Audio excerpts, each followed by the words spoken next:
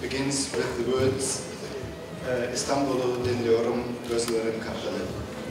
It's by Orhan Velikanik and it goes on to explain how you can sense Istanbul just through one sensory organ and that is hearing.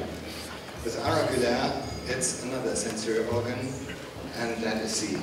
Sokaklarda rastlayacağımız insanların suratlarında şehrin verdiği duyguyu görmüştür Aragüler. Aragüler'in çektikleri bir ölçüde bir esin perisi insana yazı duygusuna veriyor. Ben arabayı çektim, arabayı bana çektirdi ama ben de ona çektirdim.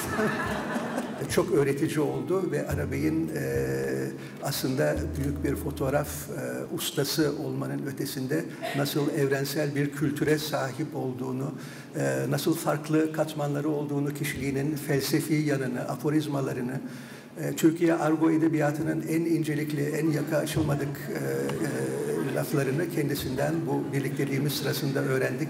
Kendisine her bakımdan çok müteşekkiriz. Aslında tabii e, Avrupa Birliği Büyükelçiliğine, Sayın Haber'e, e, onun ekibine, e, bu mekanı bize veren e, Sayın Başkonsolos e, Madame Domenec'a e, teşekkürlerimiz var. Andreas Schmidt tabii ve Ümit Sezgin arkadaşlarıma. E, ben bir de e, şu teşekkürü e, açıklıkla söylemek istiyorum.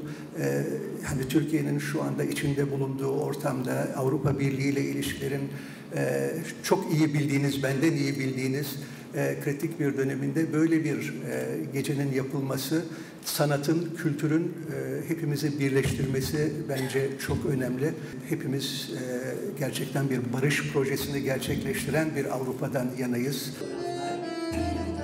evrensel bir sanata dönüşür. Sonsuzluğa uzanır.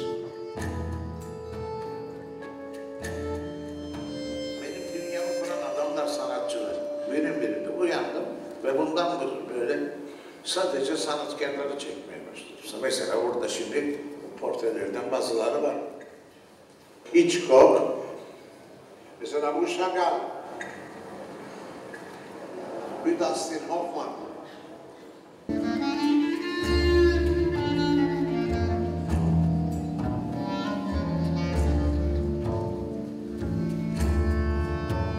Efendim çok teşekkür ederiz. Bana